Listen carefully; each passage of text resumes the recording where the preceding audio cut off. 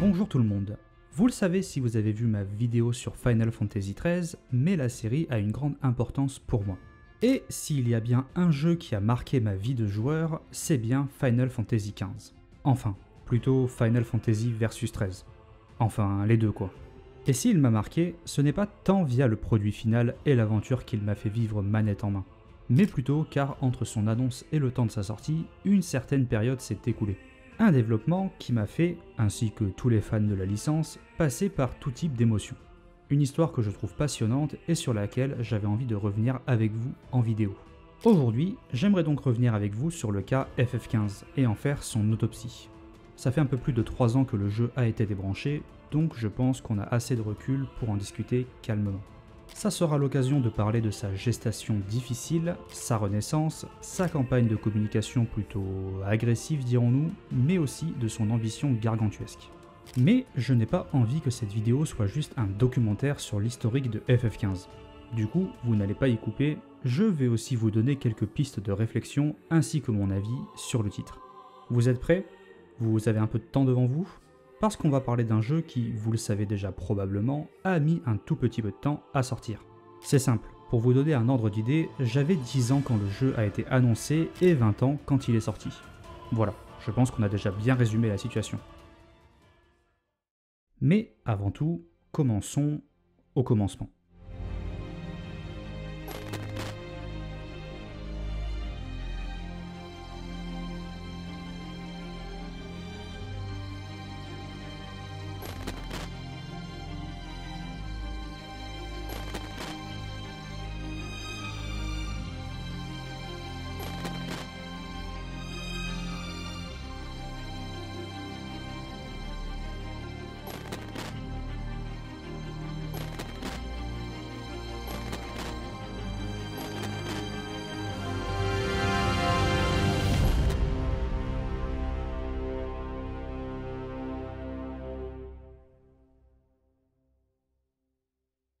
Avant de commencer à parler du développement de FF15, j'aimerais remercier le travail de Jérémy Karmarek qui a sorti en 2016 un gigantesque dossier sur son site FF World et qui revient sur la création du jeu. Un dossier qui m'a d'ailleurs été d'une grande aide pour l'écriture de cette vidéo. C'est d'ailleurs ma source principale pour parler du développement du jeu et noter aussi que ce même Jérémy est l'auteur du livre La légende Final Fantasy XV aux éditions Ferd.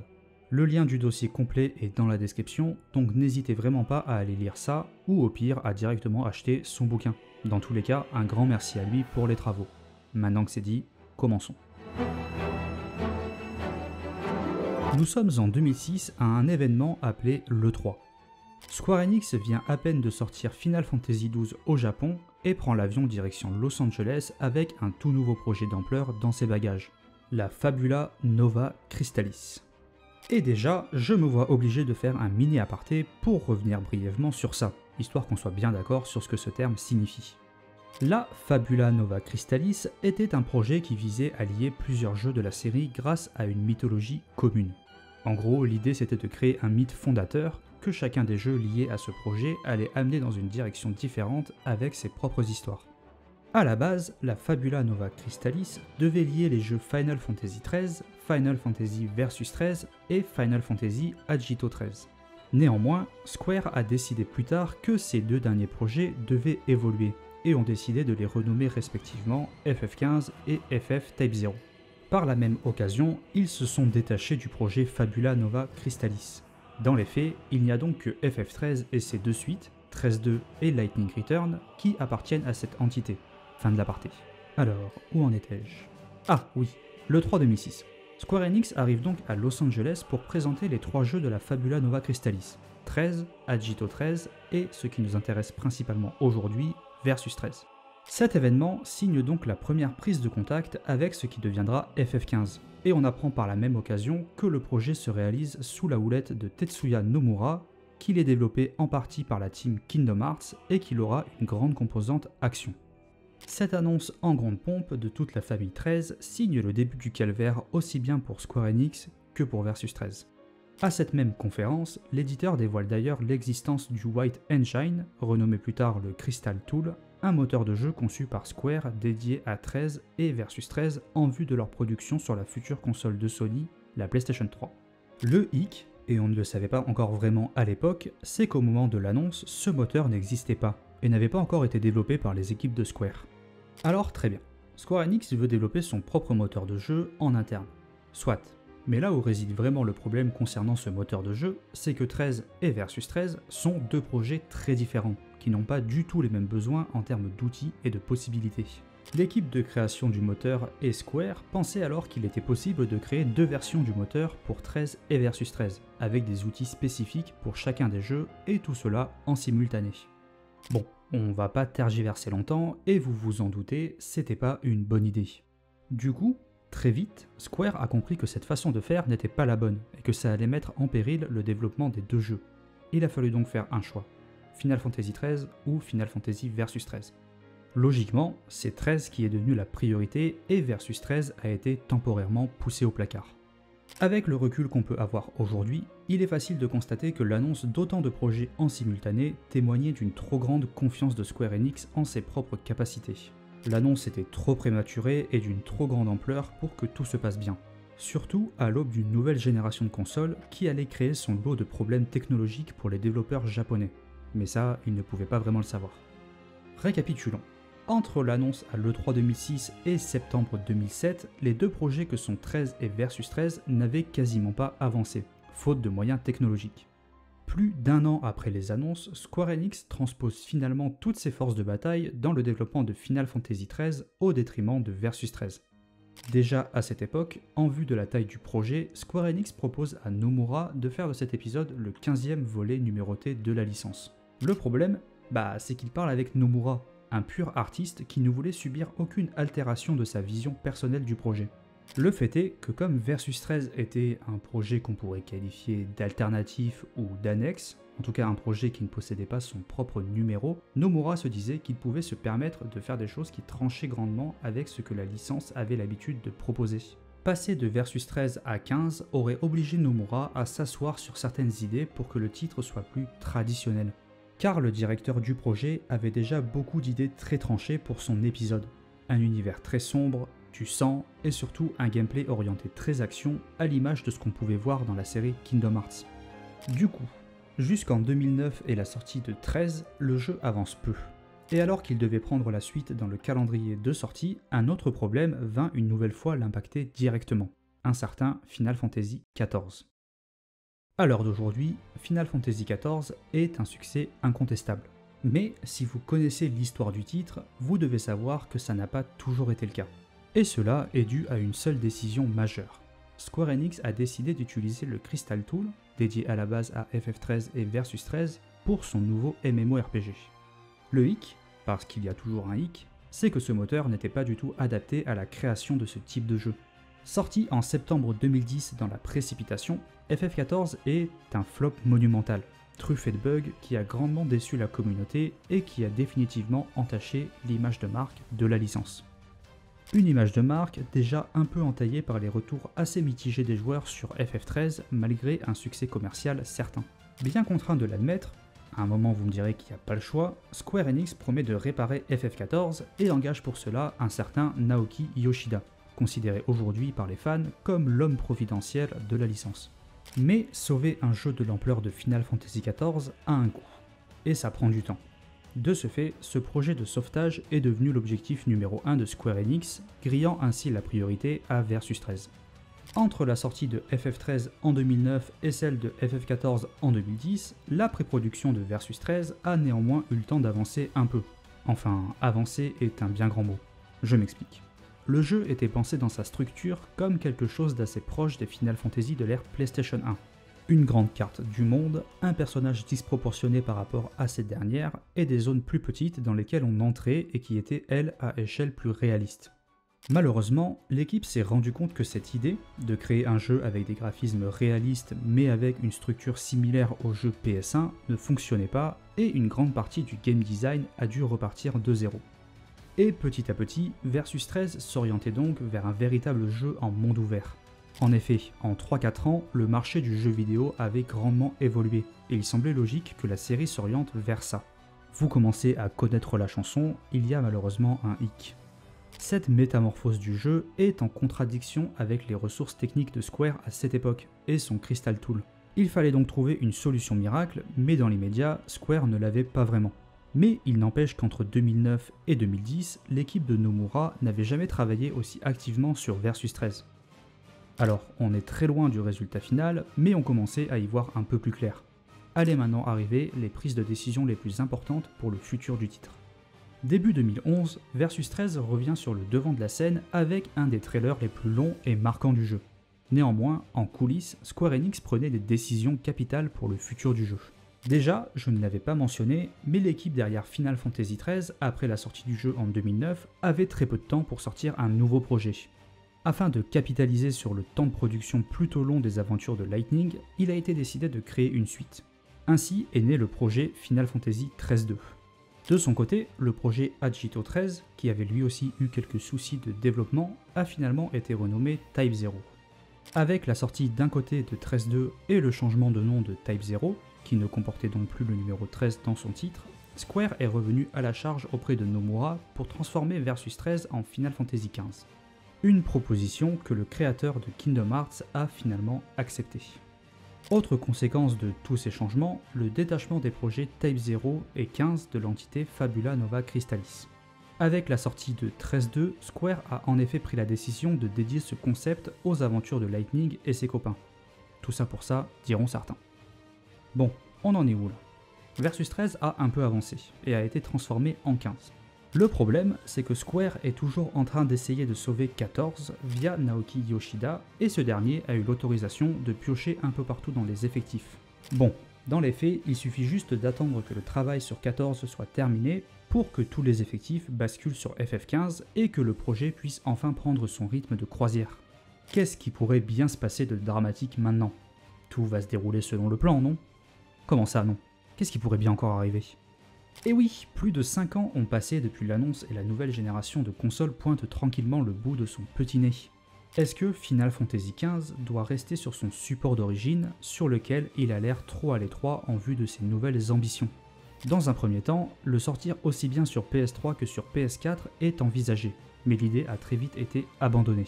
Surtout que pour cette nouvelle génération de consoles, Square Enix a appris de ses erreurs et a commencé à travailler sur un nouveau moteur maison dédié exclusivement à ces nouvelles consoles, le Luminous Engine. Mais si, rappelez-vous, c'était sur ce moteur que tournait la fabuleuse cinématique Agnis Philosophy présentée lors de l'E3 2012. Si vous voulez en savoir plus sur la création de ce moteur, je vous renvoie encore une fois vers le somptueux article de FF World qui revient bien plus en détail sur ses conditions de création. 2012 marque finalement le début du développement de Final Fantasy XV tel qu'il est sorti en 2016. Mais il reste deux problèmes de taille à régler. Le premier, c'est que le Luminous Engine n'est pas encore vraiment prêt et que son équipe de développement est au travail pour essayer de livrer une version simplifiée au nouveau Final Fantasy XIV. Le second, c'est que Square manque d'effectifs à attribuer à Final Fantasy XV. Mais pour une fois, les étoiles s'alignent Final Fantasy Type 0 a terminé son développement, ce qui a logiquement libéré une équipe. C'est maintenant qu'un nom va apparaître, Hajime Tabata, un nom très important pour l'histoire de Final Fantasy XV. Jusque-là directeur de Type 0, le monsieur vient donc filer un coup de main avec son équipe et devient au passage co-réalisateur de Final Fantasy XV. Arrive le 3 2013. Cela fait maintenant 7 ans que Versus 13 a été annoncé et il est prêt à renaître de ses cendres. Stupeur pour le public. Le magnifique nouveau trailer se termine par la transformation du logo de Versus 13 en celui de Final Fantasy XV. La nouvelle est désormais officielle pour le monde entier. Le travail peut recommencer. L'équipe se met donc au fourneau dans une nouvelle phase de pré-production, mais se rend compte que le moteur Luminous n'est en fait pas vraiment adapté aux besoins gargantuesques de FF15. Ainsi arrive une décision radicale de la part de Square Enix l'équipe de développement du Luminous Engine est affectée directement à l'équipe de développement de FF15 pour que le moteur soit construit suivant les besoins spécifiques du jeu. Ah, j'ai oublié de vous dire. À cette époque, Nomura fait bah son Nomura et annonce publiquement qu'en fait FF15 sera une trilogie et qu'il ne s'agit ici que d'un premier épisode. Un premier épisode qui a un début et une fin indépendante, mais un premier épisode quand même. Un bel exemple de Nomurad, comme on dit dans le milieu. Bon, j'essaie d'accélérer parce que ça commence à devenir un peu long toute cette histoire. Fin 2013, Tetsuya Nomura est secrètement évincé du projet. Oui, écoutez, j'ai dit que j'accélérais. La raison officielle, c'est que d'après la direction, Nomura ne pouvait pas travailler sur trois projets en parallèle. Car le 3 2013 a également signé l'annonce officielle du développement de Kingdom Hearts 3, et en coulisses commençait à se préparer tout doucement l'arrivée d'un certain Final Fantasy VII Remake. Tetsuya Nomura est donc évincé du projet Final Fantasy XV contre son gré pour pouvoir se concentrer sur les deux autres. Un événement qui l'a sûrement un peu traumatisé et qu'il a un peu mal pris quand on voit certaines séquences de Kingdom Hearts 3 qui ne sont rien d'autre que d'immenses doigts d'honneur au projet FF15. Bref, Hajime Tabata, notre co-directeur fraîchement débarqué, devient finalement réalisateur à temps plein. Notez aussi que Square Enix entreprend une grande restructuration interne sur laquelle je ne vais pas revenir en détail. FF World, Super Article, tout ça vous connaissez. L'annonce du départ de Nomura ne sera révélée au public qu'en septembre 2014 au TGS ou le Tokyo Game Show, tout comme l'arrivée d'Hajime Tabata au poste de réalisateur. L'opération reséduction peut commencer.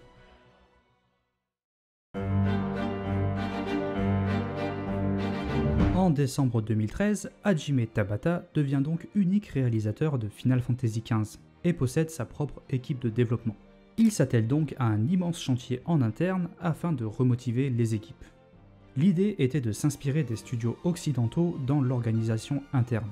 Remise à plat de la hiérarchie, boîte à idées, salle de sport, open space, communication claire et limpide entre les membres de l'équipe, sortie de groupe, la Business Division 2 de Square Enix, équipe qui s'occupe alors du jeu, devient une vraie petite start-up dans son fonctionnement. Tabata s'est même rapproché de Motomu Toriyama, réalisateur de Final Fantasy XIII, afin que ce dernier lui explique quelles avaient été les erreurs commises pendant la production du jeu, pour qu'elles ne soient pas reproduites pour FF15. Et l'erreur principale s'est avérée justement être la communication entre les membres de l'équipe. Bon, il est temps de passer la seconde dans le développement. À la demande de la direction, Tabata fixe en interne la date de sortie du jeu à septembre 2016. À un moment, il faut que le jeu sorte quoi. Il reste donc moins de 3 ans à l'équipe pour sortir le jeu. Et 3-4 ans de développement, c'est pas un temps abusé non plus pour produire un AAA en monde ouvert. Car gardez bien en tête que la production du jeu tel qu'on le connaît n'a réellement commencé qu'en 2012. Considérez donc que de 2006 jusqu'à cette date, le jeu était en pré-production plus plus quoi. L'heure est alors venue de faire le tri parmi tout ce qui a été fait pendant ces longues années. Il fallait faire le bilan et déterminer dans quel sens le projet pouvait partir. Bye bye l'idée de trilogie de Nomura, on revient donc sur un jeu en un seul volet et on reprend les concepts scénaristiques de base écrits par Kazushige Nojima. Malheureusement, il n'était plus associé au projet à cette époque-là, et il a fallu trouver quelqu'un pour réadapter l'histoire à tous les changements que le jeu avait subis. C'est donc Satori Itamuro qui s'y colle, elle qui avait jusque-là travaillé en tant que RPG planeur sur Dissidia et Duodécime. Bon, pour ce dernier, elle était tout de même en charge du scénario. Mais FF15 était un projet d'une toute autre ampleur et la mission allait être très complexe. Le second problème, c'est qu'il y avait plus de 6 ans d'idées à trier parmi tous les travaux préparatoires et que pas mal de choses avaient déjà été montrées au public en ce qui concerne les personnages, l'histoire et l'univers. Deux éléments cristallisent alors ce souci pour l'équipe. La séquence d'introduction à Insomnia et le personnage de Stella. A la base, le jeu devait commencer alors que notre quatuor de héros quitte la ville d'Insomnia. Néanmoins, il était trop compliqué de réaliser cette longue séquence et la créer de manière optimale en plus d'un monde ouvert complet derrière. L'équipe a donc décidé de supprimer cette séquence et d'en faire finalement un film, un certain Kingsclave. De son côté, Stella est un cas particulier, car elle semblait être un personnage extrêmement important. De plus, avec l'idée de faire de FF15 une trilogie, le personnage de Stella avait évolué et devait prendre de l'ampleur au fur et à mesure des épisodes. Mais avec la décision de revenir à un seul et unique jeu, sa place dans le titre a été remise en question. Finalement, comme ils ne savaient pas vraiment quoi faire de ce personnage, ils ont décidé de le retirer pour le remplacer par le personnage de Luna Freya, Ensuite vint le sujet du monde ouvert. Pour respecter l'organisation du monde et le scénario, Noctis et ses copains devaient à un moment rejoindre un deuxième continent. Étant donné le temps de développement plutôt court, au moment de la reprise du projet par Tabata, il était impossible de créer un open world qui contenait deux continents de taille plus ou moins égale. Il a donc été décidé de se concentrer sur le premier et de faire du second un passage beaucoup, beaucoup, beaucoup plus linéaire. D'ailleurs, j'ai appris au cours de mes recherches que la portion qui se déroule sur le second continent a été en partie sous-traitée à une entreprise taïwanaise, XPEC Entertainment. On y reviendra, mais gardez cette information dans un coin de votre tête. Bon, le travail est a priori enfin sur de bons rails. Maintenant, il faut séduire, quitte à saturer. Très rapidement, Tabata a l'idée de proposer une démo jouable aux joueurs afin qu'ils puissent être rassurés sur l'état du jeu et au passage reconquérir leur cœur. Il arrive finalement à convaincre sa hiérarchie sur deux points. Sortir un portage HD de FF Type 0 sur PS4 pour y inclure dedans une démo de Final Fantasy XV. Ce projet de démo avait également pour but de remotiver les équipes, surtout ceux qui étaient déjà là depuis le début, avec une vraie première échéance à respecter. Arrive le TGS 2014 et la présentation d'un trailer qui donne vraiment le nouveau cap déterminé pour le jeu. Va s'en suivre maintenant deux ans de communication intensive et la création des fameux Active Time Reports. Ces événements organisés assez régulièrement par Square Enix avaient pour objectif de faire suivre le développement du jeu aux fans et de s'attarder à chaque fois sur certains aspects de FF15. Une idée complètement inspirée de ce qu'avait fait Naoki Yoshida pour FF14 et c'est Letter from the Producer. Le hic, c'est que dans le second cas, on parle d'un MMO-RPG qui allait avoir une dose de contenu très conséquente et sur une longue durée de vie. Dans le cas de FF15, on parle d'un jeu solo. Ce qui fait que si vous avez suivi tous les événements, une fois le jeu en main, on avait l'impression de déjà avoir tout vu. Rajoutez à ça les trop nombreux trailers sortis et on remarque une fois le jeu terminé qu'il réservait assez peu de surprises ou de choses qu'on n'avait pas déjà vues. Après trois démos, dont une exclusive au Japon et un événement dédié appelé Uncovered Final Fantasy XV où a été dévoilée la date de sortie, tous les projets liés au jeu comme le film King's Eleven ou encore la série animée Brotherhood, FF15 sort en novembre 2016. Ceux qui ont bien suivi noteront que le jeu était annoncé au départ pour septembre, mais qu'on a eu le droit à un dernier petit report. Mais bon, on n'était plus à deux mois près j'ai envie de vous dire.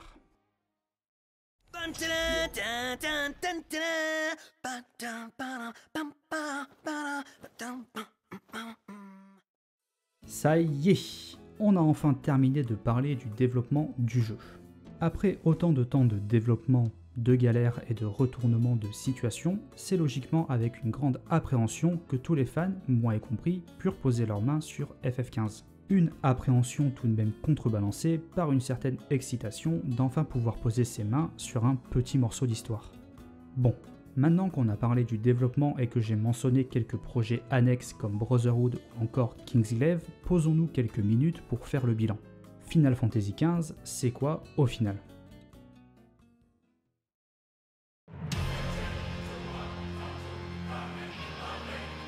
L'univers Final Fantasy XV, c'est beaucoup de choses. Suivez bien, ça va être technique. L'histoire de 15 se déroule à Eos, un monde divisé en trois grands continents, le Lucis, Accordo et Niflheim. On y suit les aventures de Noctis, jeune prince du Lucis destiné à devenir roi et à épouser Lunafreya Nox Fleuret, une oracle de Ténébrae, une région qui se situe dans le continent de Niflheim. Le jeu débute alors que Noctis quitte Insomnia, sa ville natale, accompagné de Gladiolus, Ignis et Prompto, trois de ses amis et protecteurs. Le but de ce voyage est de rejoindre Alticia, la capitale du continent d'Accordo, afin d'y retrouver Luna Freya et de l'épouser. Ce mariage s'organise dans le cadre d'un traité de paix entre le royaume d'Ulucis et l'empire de Niflheim, en guerre depuis maintenant de nombreuses années suite aux envies expansionnistes de ce dernier. Néanmoins, quelques jours après que Noctis soit parti, la ville royale d'Insomnia est attaquée de l'intérieur alors que le dirigeant de Niflheim s'y était rendu pour la signature de ce fameux traité de paix. L'objectif de Noctis, héritier du trône du Lucis, n'est donc plus seulement de retrouver sa promise, mais bien d'éveiller son pouvoir de futur roi et de reconquérir le trône qui lui revient de droit, ainsi que d'affronter un ennemi plus ou moins caché. Voici très brièvement comment on pourrait résumer le début de l'aventure FF15. Comme tout bon RPG, c'est probablement le point sur lequel le jeu était le plus attendu au tournant. Montrant depuis le début de son existence un univers de fantasy basé sur la réalité, aux enjeux matures, ce nouvel épisode a énormément déçu les joueurs sur son aspect scénaristique. Mais pour cela, il faut d'abord se poser une question. Final Fantasy XV, c'est quoi? Alors accrochez-vous bien, il va falloir suivre. Final Fantasy XV, c'est un jeu principal, une série animée appelée Brotherhood qui revient sur le passé de nos quatre protagonistes, un film intitulé Kingslave qui explique les événements survenus à Insomnia juste après le départ de Noctis et qui sert d'introduction au jeu, 5 DLC dont 4 centrés sur des personnages et qui apportent des précisions sur chacun d'entre eux mais aussi sur certains événements de l'histoire et l'univers, 5 jeux dérivés un peu aux F, une adaptation sur mobile subtilement appelée la Pocket Edition et un livre Dawn of the Future qui est venu remplacer une salve de DLC annulée créant au passage une fin alternative à celle du jeu. Comme vous pouvez le constater, Final Fantasy XV est devenu au fil de son développement une œuvre transmédia. Alors, chacun aura son avis sur le positif et le négatif qu'apporte une œuvre qui se développe sur plusieurs supports, mais dans mon cas, je n'ai pas vraiment de souci avec ce procédé si le but est bien sûr d'étendre un univers déjà très bien établi dans l'œuvre originale, dans notre cas le jeu Final Fantasy XV. Si le travail est bien fait de base, aucun souci pour que d'autres supports viennent développer l'univers ou raconter de nouvelles histoires. Là où j'ai un souci, c'est quand la connaissance de toutes les œuvres se veut nécessaire afin de comprendre tous les enjeux du récit et avoir l'impact émotionnel escompté par les développeurs. Et à ce niveau-là, on ne peut pas dire que le jeu soit irréprochable. Déjà, de base, je trouve que le jeu initial possède beaucoup de trous et de facilités scénaristiques. On a un peu l'impression de majoritairement suivre l'histoire sans jamais avoir réellement d'impact dessus, et je trouve qu'il y a une trop grande dissonance entre ce qui se passe dans le jeu et la réaction des personnages. En plus, pas mal de persos sont décevants d'un point de vue de leur développement, et on a parfois l'impression qu'ils sont là sans que les développeurs ne savent vraiment trop quoi en faire. Coucou vous deux. On est donc en droit de se demander ce qui peut être la cause de tout ça. Et sans surprise, on peut deviner que le temps de développement particulièrement long et chaotique, ainsi que les remaniements de scénarios à outrance, ont eu des conséquences néfastes sur l'écriture.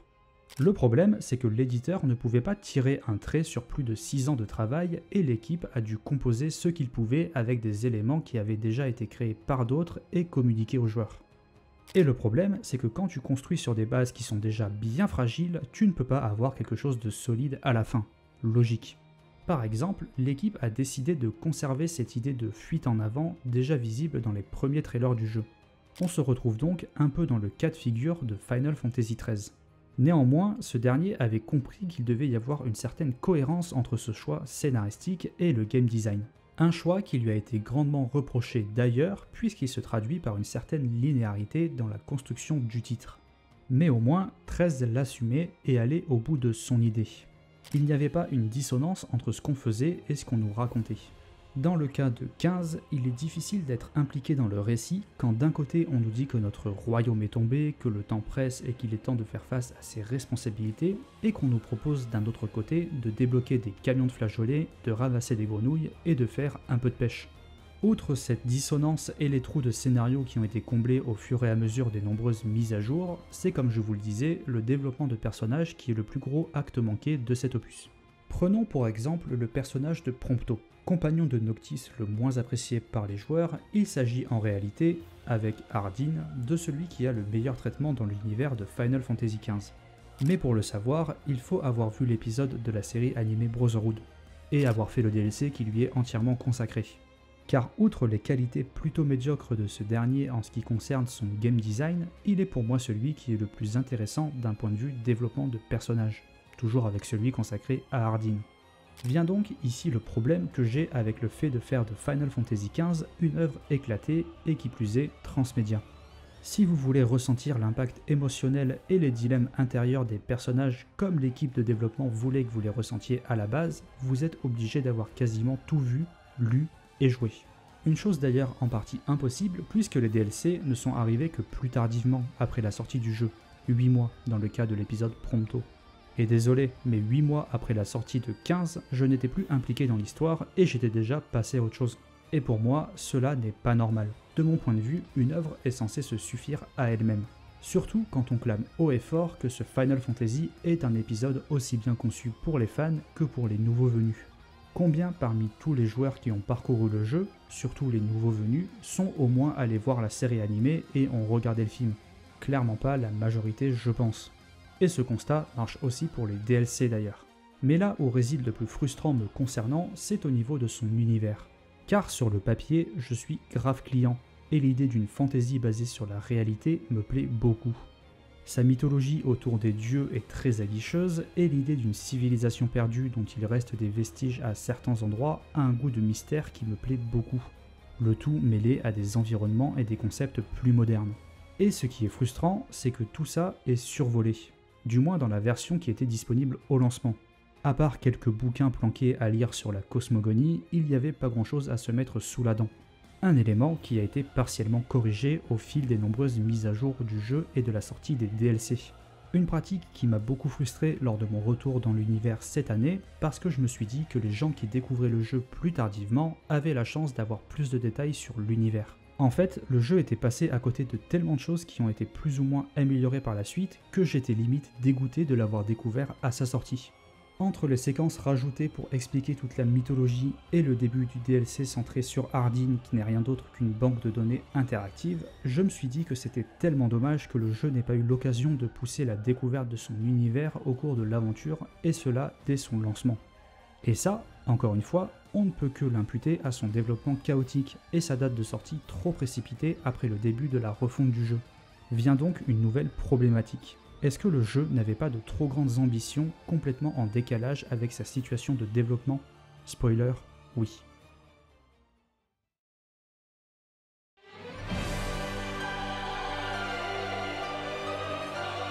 Être ambitieux n'est pas une mauvaise chose, surtout quand on s'appelle Square Enix et qu'on a plus de 30 ans de métier.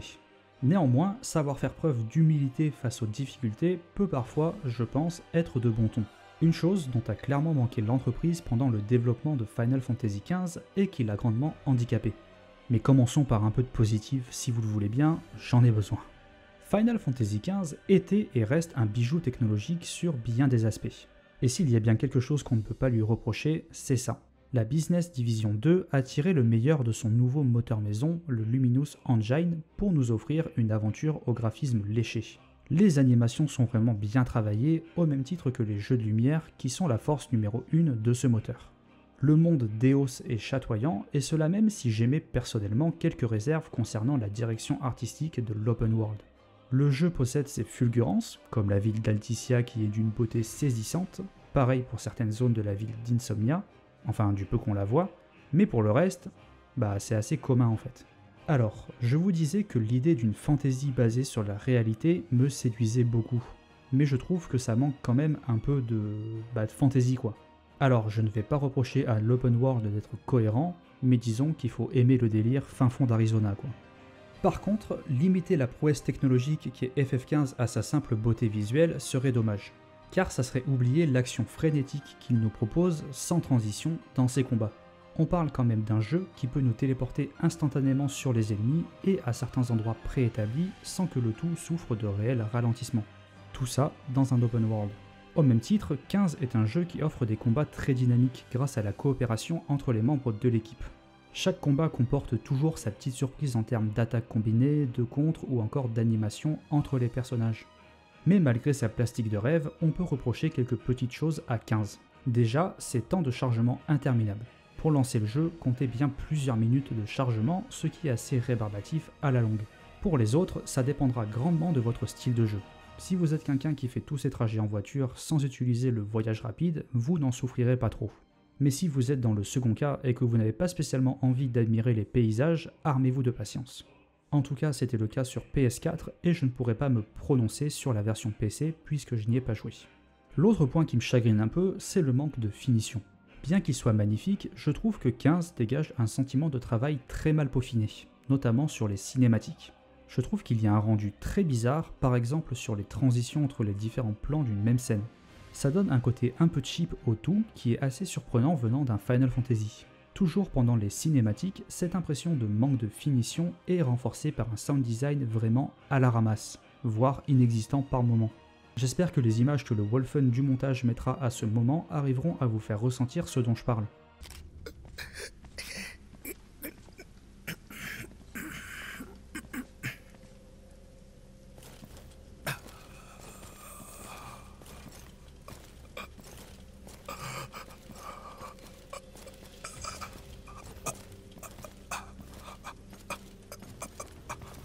Et en plus de tout ça, malgré un travail de très très bonne qualité sur le doublage français en vue du chantier, la synchronisation labiale est complètement aux fraises, renforçant encore une fois ce côté un peu cheap. Alors je veux bien qu'il y ait une différence de synchronisation labiale suivant les langues dans lesquelles on joue au jeu, mais là vraiment c'est abusé. Final Fantasy XV est un jeu qui propose plein de choses. De la cuisine, du camping, de la pêche, des courses de chocobo, des quêtes annexes, des photos, et j'en passe et des meilleurs. Mais est-ce que la qualité n'est-elle pas préférable à la quantité? Encore un spoiler, oui. Mon problème majeur avec 15, c'est qu'il a voulu trop en faire, en oubliant les bases. En soi, je n'ai rien contre le fait qu'on me propose plein de petites activités et autres quêtes secondaires à faire. Mais personnellement, j'aimerais que ça soit fait en étant certain que ce qu'on propose de principal est à la hauteur. Quand je repense aux anciens épisodes de la saga, qu'est-ce qui me fait vibrer? Est-ce que c'est des petits trucs annexes à faire? Pas du tout. C'est le sentiment d'avoir vécu une grande aventure, une épopée qui me raconte une histoire marquante et qui prend le temps de développer ses personnages. Et je suis désolé, mais de mon point de vue, 15 se prend totalement les pieds dans le tapis à ce niveau-là, justement parce qu'il a voulu trop en faire. En fait, je pense qu'il a peut-être trop voulu ressembler à ses camarades occidentaux. Et en vrai, je peux comprendre cette volonté de suivre la tendance du marché. C'est bien de vouloir parler aux nouveaux venus quand on fait une œuvre. Mais quand on a Final Fantasy dans son titre, il ne faut pas non plus oublier son héritage. Et c'est hyper dommage car 15 a ses moments qui fonctionnent. La grosse séquence à Alticia est spectaculaire et la fin est une de mes préférées des épisodes que j'ai fait. Mais entre ce genre de séquences, le jeu pullule de choses complètement oubliables et assez mal écrites. L'aventure manque selon moi de consistance et de moments marquants. Et j'aurais clairement préféré que le jeu se contente de nous proposer une aventure principale inoubliable avec pas grand chose à côté, plutôt que de mettre des centaines de quêtes secondaires MMORPG-like inintéressantes au possible et nous livrer une histoire à trous qui seront comblés au fur et à mesure de la sortie des DLC et des mises à jour. Comme vous le savez, chaque médaille a son revers. Dans le cas de Final Fantasy XV, si vous connaissez bien le jeu, vous savez de quoi je vais parler maintenant. Faire un jeu aussi beau qui fourmille de contenu annexe a un prix.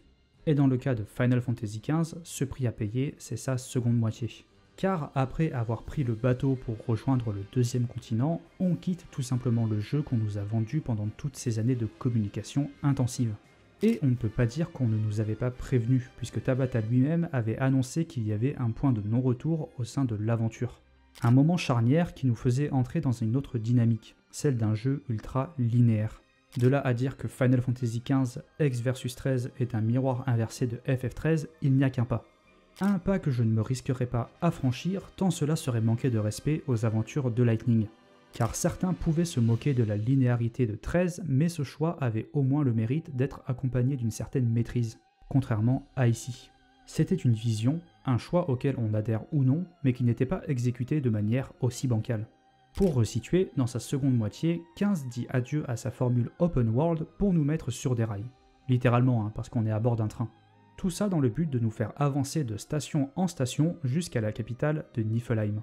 Ça sera l'occasion de se battre dans des scènes d'action relativement intéressantes, faire un donjon un peu oubliable et de nous laisser entrevoir un lieu magnifique auquel nous n'aurons jamais accès.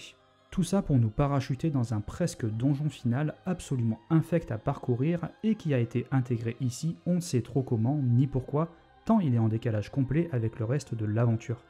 D'ailleurs, au cours de la lecture du dossier, toujours disponible sur FF World, ça a pas bougé, j'ai appris que Square Enix avait carrément sous-traité une majeure partie du travail sur la seconde partie du jeu à la société taïwanaise XPEC afin d'accélérer le développement.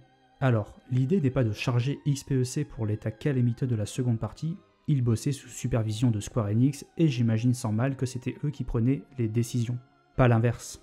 Et en soi, la sous-traitance de certaines parties d'un jeu ou de certains éléments de production est quelque chose d'assez commun surtout dans le développement de AAA. Néanmoins, elle est peut-être symptomatique dans ce cas d'ambition démesurée. Et c'est ça que je veux pointer du doigt. Clairement, on sent en parcourant le titre qu'il a été pensé pour sa première partie.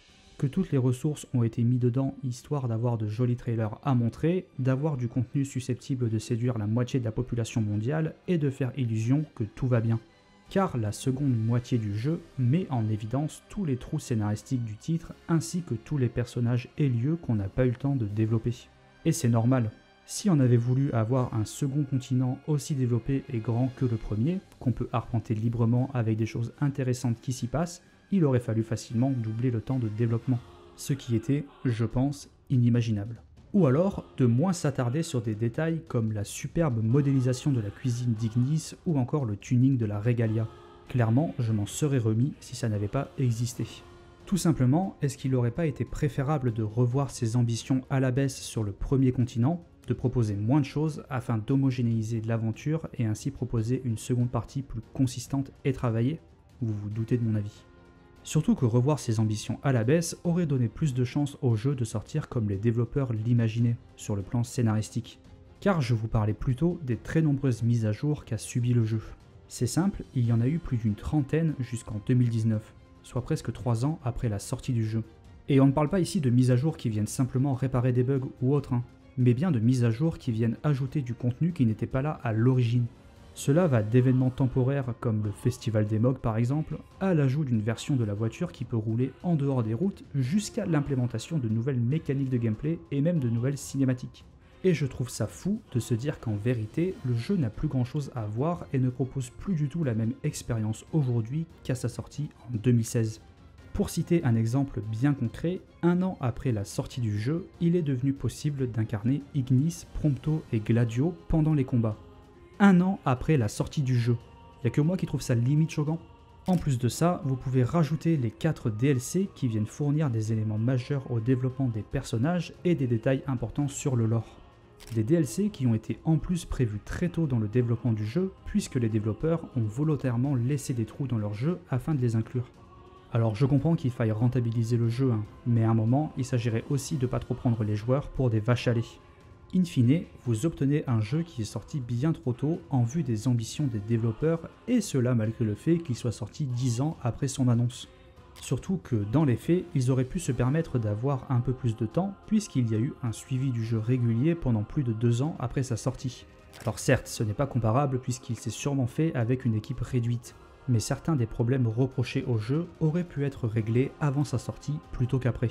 Il aurait juste fallu moins en faire.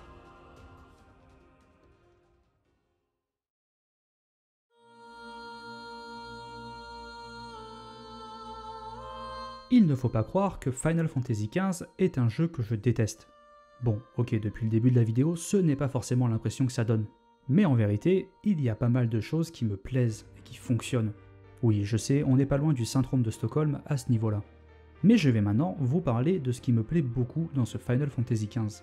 Déjà, l'ambiance road trip entre potes est très réussie. Et pourtant, c'était vraiment une direction très casse-gueule. Tout d'abord, elle fonctionne très bien grâce à la dynamique entre les personnages. En proposer que 4 était vraiment risqué quand on voit les anciens épisodes, mais l'alchimie entre eux est vraiment réussie. Ils sont sans cesse en train de commenter le monde qui les entoure, parlent pendant l'exploration, ont chacun un caractère bien défini et il leur arrive même de se prendre la tête. Bon, en général, vous le savez, j'aime pas trop quand les personnages parlent pendant l'exploration. Et même là, je trouve que c'est par moments un peu trop. Mais comme ils sont quatre, je trouve que la dynamique n'est pas vraiment la même qu'avec un duo, ou encore pire, une personne qui parle toute seule. En fait, ce qui me séduit, c'est que leur relation est réaliste, authentique et que leur côté humain les rend vraiment très attachants. Parcourir ces longues étendues et faire ces longs trajets en voiture avec eux a été hyper plaisant, au même titre que les moments les plus dramatiques. Une ambiance road trip magnifiée par la bande-son du titre. Une OST qui figure parmi mes préférés de la licence et qui est tout de même assez hétérogène.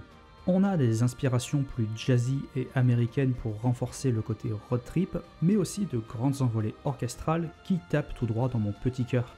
Je ne vais pas m'étendre longuement sur le sujet puisque c'est un des rares éléments qui ne fait pas débat. FF15 possède une très très grande bande son que j'écoute encore volontiers plus de 6 ans après la sortie du jeu.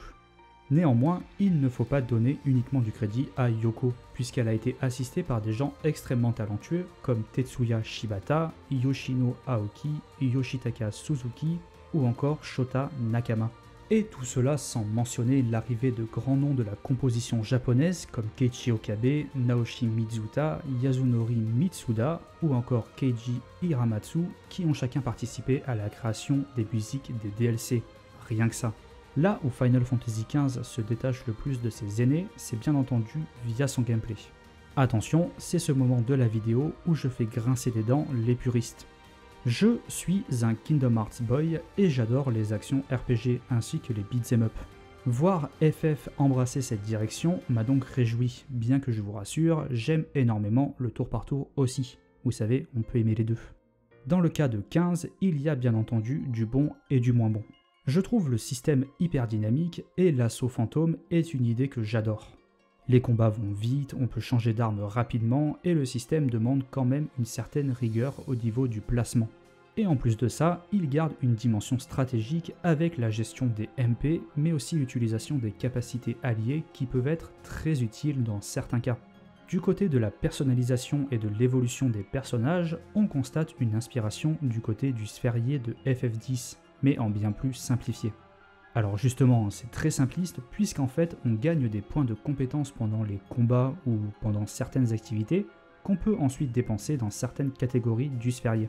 Alors bien qu'on n'atteigne pas le niveau de personnalisation de celui du 10, on peut néanmoins un peu personnaliser son gameplay selon notre façon de jouer ou encore se faciliter la tâche pour certaines activités annexes. Rien de transcendant ou de fondamentalement révolutionnaire à ce niveau-là, c'est simple et relativement efficace. Cependant, le gameplay ne fait pas un sans faute, et les trois choses qui me chagrinent le plus sont les suivantes. La magie, les invocations, et finalement l'open world. En ce qui concerne le premier, je trouve que le système est juste mal pensé. Créer des magies est laborieux. Il faut récolter dans un premier temps des essences élémentaires, créer des espèces de grenades en les fusionnant avec des matériaux, les équiper, et tout ça est pour moi assez laborieux. Surtout que le jeu ne force pas vraiment le joueur à utiliser cette mécanique puisqu'il est tout à fait possible d'avancer sans jamais y toucher. Par contre, je reconnais que si un boss vous saoule ou que vous êtes bloqué, c'est une ressource très utile pour blaster complètement les ennemis. Mais aussi vos alliés, puisqu'en général, quand vous lancez une magie dans le tas, tout le monde en prend pour son grade. Alors, sur le papier, c'est un système plutôt ok, puisque le craft vous permet par exemple de créer des magies qui peuvent par la même occasion infliger des altérations d'état à vos ennemis. Mais dans les faits, vu que tous les ennemis peuvent être tués sans, à quoi bon s'embêter à les utiliser? En plus c'est dommage car visuellement l'effet des magies est sublime.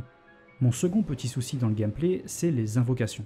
Alors ne me faites pas dire ce que je n'ai pas dit, elles n'ont jamais été aussi impressionnantes et chaque apparition est un réel événement de jeu.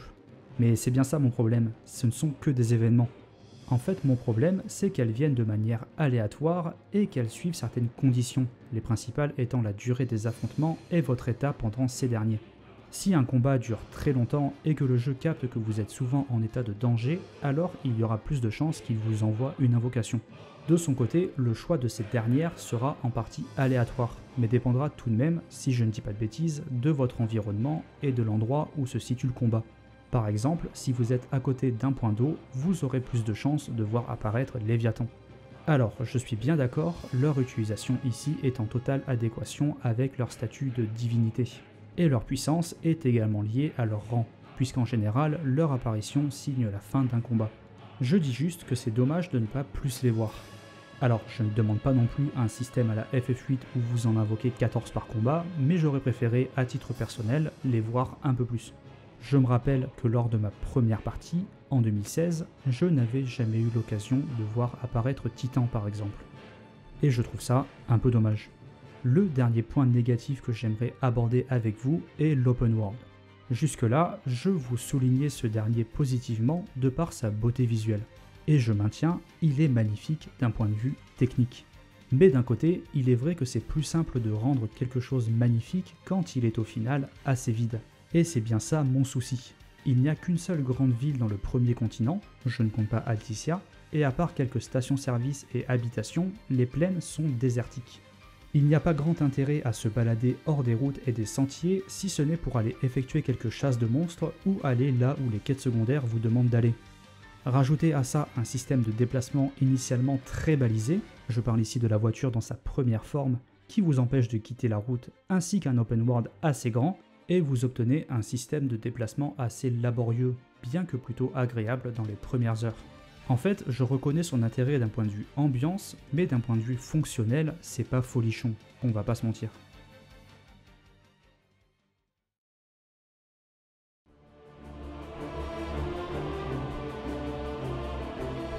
Final Fantasy XV est une œuvre profondément cassée. Et ce qui m'attriste le plus dans cette histoire, c'est que le joueur qui a été fidèle au projet et a acheté son jeu le jour de sa sortie est loin, très loin d'avoir eu la version la plus optimale. Qu'un jeu ne soit pas à son prime le jour de sa sortie est malheureusement devenu quelque chose d'assez commun. Mais avec 15, on a atteint le paroxysme de ce constat. Si vous n'y avez pas joué et que vous décidez de vous lancer dans l'aventure aujourd'hui, vous n'aurez pas du tout la même expérience que les joueurs qui se sont lancés dans l'aventure en 2016.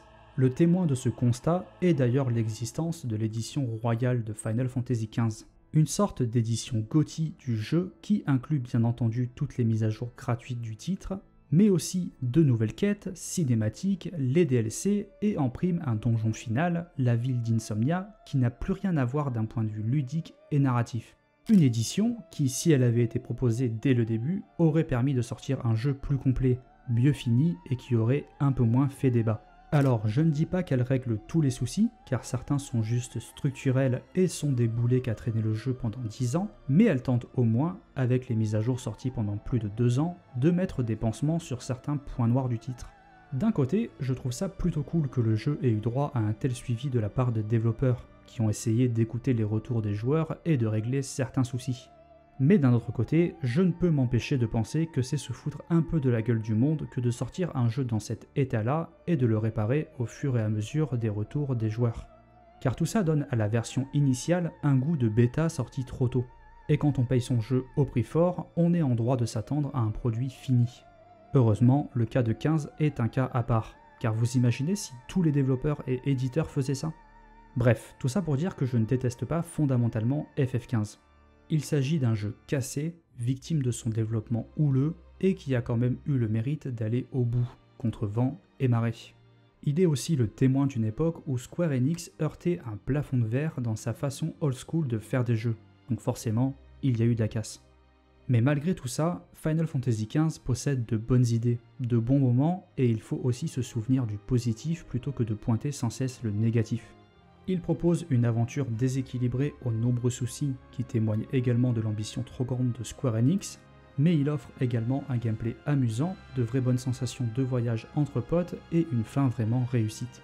Et Final Fantasy XV, tout comme FF14, sont des projets qui ont souffert, mais qui ont également mis en exergue plein de soucis en interne sur la manière de gérer les projets chez Square Enix. Déjà, ils ont permis une restructuration de l'entreprise en interne et j'espère que ces soucis cumulés ont permis d'autres avancées. Car vous le savez, les échecs sont au moins autant, voire bien plus formateurs que les succès. Oui, j'allais pas vous quitter sans vous sortir une petite punchline digne du bon start en herbe que je ne suis pas. pas mieux cadeau de Voilà, c'est la fin de cette longue vidéo dédiée à Final Fantasy XV un projet qui me tenait à cœur et qui me trottait dans la tête depuis plusieurs mois. C'est une vidéo bien plus longue que ce que j'ai l'habitude de produire et j'espère qu'elle vous aura quand même plu. Si c'est le cas, vous savez quoi faire. Moi, en attendant, je vais profiter de Final Fantasy XVI, le nouvel épisode de la licence dirigé par Naoki Yoshida, le fameux sauveur de Square Enix. L'occasion de voir si l'éditeur nippon a appris de ses erreurs et si la licence peut signer son grand retour sur le trône du JRPG. Merci d'avoir regardé cette vidéo et je vous dis à très bientôt. Bye tout le monde et à la prochaine.